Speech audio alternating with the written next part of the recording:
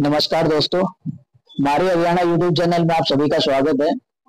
मैं आज उपस्थित हूँ कनीना में भारतीय जनता पार्टी लोकसभा महेंद्रगढ़ भिवानी के ऑफ़िस पे और यहाँ मेरे साथ मौजूद है भारतीय जनता पार्टी के समर्थक। आज इनसे जानते हैं कि इनमें लोकसभा इलेक्शन को लेके कितना जोश है, इनकी क्या तैयारियाँ हैं कैसे लगे हुए हैं ये भारतीय जनता पार्टी के महेंद्रगढ़ भिवानी लोकसभा के उम्मीदवार को जिताने के लिए किस तरीके से ग्राउंड स्तर पर ये कार्य कर रहे हैं? तो सबसे पहले मैं आपसे मिलवाता हूँ भारतीय जनता पार्टी के कनीना से अध्यक्ष अतर सिंह जी से और इनसे जानते हैं कि क्या तैयारियाँ चल रही है भारतीय जनता पार्टी के ग्राउंड स्तर पर। नमस्कार। नमस्कार जी। तो आप, आपको पहले ये बताइए कि महेंद्रगढ़ भिवाड़ी लोकसभा के अंदर कहीं ना कहीं कांग्रेस पिछली बार जितनी पिछड़ी हुई थी उससे मज़बूत नज़र आ रही है। तो उसको काटने के लिए आपकी क्या तैयारियाँ चल रही योगेंद्र जी, मैं आपके चैनल के माध्यम से आपके दर्शकों को भी आपको भी धन्यवाद देना चाहता हूँ, जो आप हमारे बीच में आए। और मैं इस प्रश्न का जवाब ये है, ये लोगों का भ्रम फैला रखा है, कांग्रेस मज़बूत हुई। कांग्रेस तो कहीं भी नहीं है। अब की बार 400 पार का जो मोदी जी ने लक्ष्य रखा है, उसमें कांग्रेस कहीं नहीं टिकेगी। वो 50 से नीचे नीचे बिल्कुल कवर हो जाएगी। उससे ज़्यादा कोई सीट आनी नहीं। दो सौ पे तो कुल ही खड़ी की, खड़े की उन्होंने कैंडिडेट उनके पास कैंडिडेट ही नहीं। कोई टिकट लेने वाला नहीं था। ज़बरदस्ती नेताओं को टिकट दे दी गई। कांग्रेस का कोई वर्चस्व नहीं कांग्रेस के पास ना कोई प्रधानमंत्री का चेहरा है। दूसरी आपको बता दूँ, कांग्रेस तो ओबीसी आरक्षण के खिलाफ हो रही है।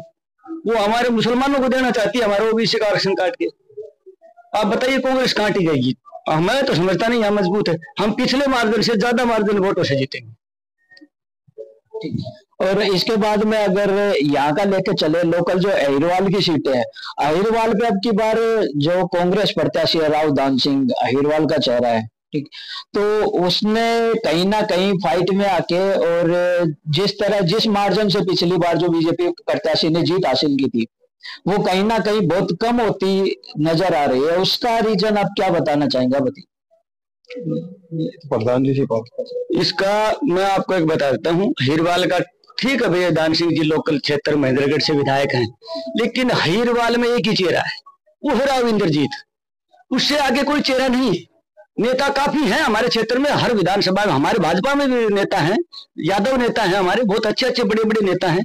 लेकिन चेहरा अगर अहिरवाल का देखोगे ना तो चेहरे हमारे पास या तो राव इंद्रजीत या रामविलास शर्मा, दो ही चेहरे ऐसे हैं जिनके हमारे, जिनके बल पर हम इतने मज़बूत हैं, दक्षिण हरियाणा में खासकर।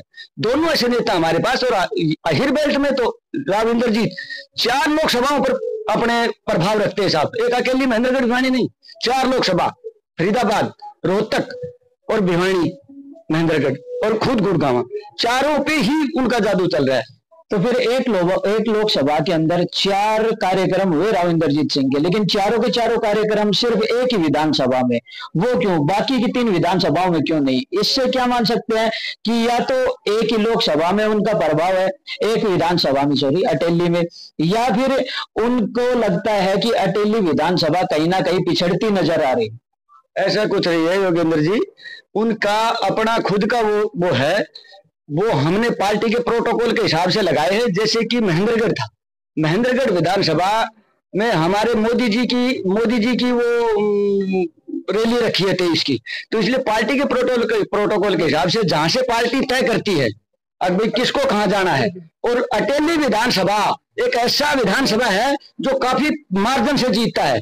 तो हाँ। इस अटेली विधानसभा में जब राव साहब का प्रोग्राम इसीलिए रखवाया गया और इस विधानसभा से एक नहीं नौ विधानसभा हुआ दर और अहिरवाल की जो बाईस विधानसभा सभी अटेली को देख के चलती हैं। अटेली कितना मार्जिन दे रहा है? मत इसलिए हमने राव साहब को अटेली में उतारा है। वैसे बात कोई कमज़ोर नहीं है। सबसे ज़्यादा दो हज़ार चौदह का देखो दो हज़ार उन्नीस का देखो। हर बार मार्जिन बढ़ता है। अब की बार भी अटेली मार्जिन बढ़ा रही है? आप क्या कहना चाहेंगे? अटेली विधानसभा से बीजेपी प्रत्याशी को कितने क्या वोट मिल सकते हैं? क्योंकि महेंद्रगढ़ और महेंद्रगढ़ विधानसभा और अटेली विधानसभा, ये दोनों ऐसी बताई जा रही है कि राव दान सिंह जो कांग्रेस प्रत्याशी है, वो कहीं ना कहीं लीड करते नज़र आ रहे हैं। नहीं, ऐसा कुछ नहीं देखने में आया। पिछली बार से भी ज़्यादा वोटों से बीजेपी का कैंडिडेट महेंद्रगढ़ और अटेली विधानसभा से जीतेगा, इसमें कोई शक नहीं। क्या लगता है ग्राउंड स्तर पर आप जा रहे हैं इलेक्शन के टाइम पे, जो वोटर है, वो क्या कहता नज़र आ रहा है गाँव में कि हम किस, वो बीजेपी को किस वजह से वोट दे? मोदी ने देश के अंदर इतना विकास किया है और इतना मतलब सम्मान बढ़ाया है कि देश का नौजवान, बूढ़ा, बच्चा कोई भी हो, एक ही नाम मोदी का है और मोदी के चेहरे पर ही ये देश वोट दे रहा है। हमारे जो पुराने साथी कई बात होती है तो कांग्रेस विचारधारा के हैं, मगर कांग्रेस की विचारधारा होते हुए भी वो मोदी के काम को देख करके बीजेपी को वोट देंगे। आप यूथ हैं और अभी बीजेपी के साथ जुड़े हुए हैं, ठीक है? तो क्या लगता है कि आप अपने लेवल पे जब गाँव के अंदर जाते हैं, जो यूथ है, कहीं ना कहीं जो विपक्षी पार्टियाँ हैं, वो, उनका मुद्दा है कि रोज़गार नहीं दिया जा रहा है तो यूथ को तो रोज़गार ही चाहिए। तो आपको क्या लगता है, गाँव में आप जा रहे हैं तो किस तरीके से यूथ का रेस्पॉन्स मिल रहा है? अभी रोज़गार की बात की आपने, भाई साहब, रोज़गार में तो हर गाँव में दस बीस बच्चे लगे हुए हैं। ये आपने अपने मीडिया के माध्यम से भी सुना होगा कि हर गाँव में बच्चे लगे हुए हैं। पिछली बार से, पिछली बार एक तरफ़ लगते थे रोहतक की तरफ़ लेकिन अब की बार तो पूरे हरियाणा में समान रूप से नरेंद्र मोदी ने चलाया विकसित भारत, विकसित हरियाणा। उसके तरफ़ पे कार्य हो रहे हैं, समान कार्य हो रहे हैं, बच्चे भी लग रहे हैं और तैयारियाँ भी कर रहे हैं बच्चे और भी। ये कोई बात नहीं है कि नहीं लगे। हर गाँव में जाके पूछो, घूमते हैं, बच्चे लगे हुए हैं। मैं बताऊँगा जी इसके बारे में। बिना खर्ची, बिना पर्ची। किसी कोई सिफारिश नहीं। हमारे युवाओं में जोश है। हर गाँव में बच्चे लगे हैं। किसी नेता के पास जाने की सिफारिश की ज़रूरत नहीं। पड़ी ये इतनी बढ़िया स्कीम जो लगाई है, ये तो एक ही ज़िले के मुख्यमंत्री बनते थे साहब, रोहतक सोनीपत झज्जर। उससे आगे बढ़ते नहीं थे। हमारे यहाँ हईरवाल में भी बाल बदलने वाले, नल को, नल का, जल चल, जल का नल चलाने वाले भी रोहतक से आते थे। अब बताओ, हमारा हईरवाल के अभी दस साल में जो बच्चे लगे, आप उनकी लिस्ट उठा के देखो। युवाओं में जोश है। मोदी जी और मनोहर लाल जी और राज सैनी जी, सब अपने भाजपा के विकास कार्य बताओ। आपका क्या विचार है लोकसभा के अंदर अटेली और महेंद्रगढ़ विधानसभा को लेकर ऐसा है, योगेंद्र भाई, हमारा अटेली हल्के में जितना विकास बीजेपी सरकार में हुआ है, इतना आज तक कभी नहीं हुआ।